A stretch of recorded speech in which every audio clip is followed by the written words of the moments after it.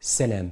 الماء هو مصدر الحياة وضرورة لاستمرارها. هادشي علاش في هاد شهر الصيام المبارك اللي كيتزامن مع شهر الصيف خص الجسم ديالي ياخذ المياه اللي هي أساسية والأملاح المعدنية اللي خاصة به لحقاش كنكونسومي وكنفرز هاد المياه وهاد الأملاح المعدنية بواحد الطريقة اللي هي مهمة بزاف. وبالتالي محتاج الماء باش يمكن له يستمر في العيش ديالو.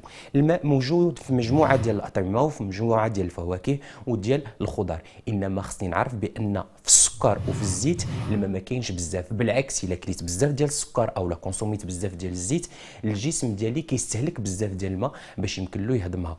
كلوا مجموعة ديال الفواكه والخضار اللي كتحتوي على كميات هائلة من الماء مثل الجزر مطيشة السويلة الدلاح إلى ما غير ذلك من les aliments.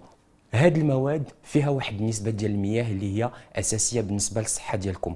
واحد الغلط بغيت نشير ليه اللي كيديروه الأغلبية ديال الناس في الكوزينات ديالهم هي من كيبغيو ياكلوا واحد الخضرة كيبانيوها في الدقيق وكيقليوها باش ناكلوها. هاد الطريقة هذه كتخلي الجسم ديالي على أنه يكونسومي بزاف ديال الماء وكينشف من المياه. ايفيتيو ديروا الخضرة في الدقيق أو لا تقليوها.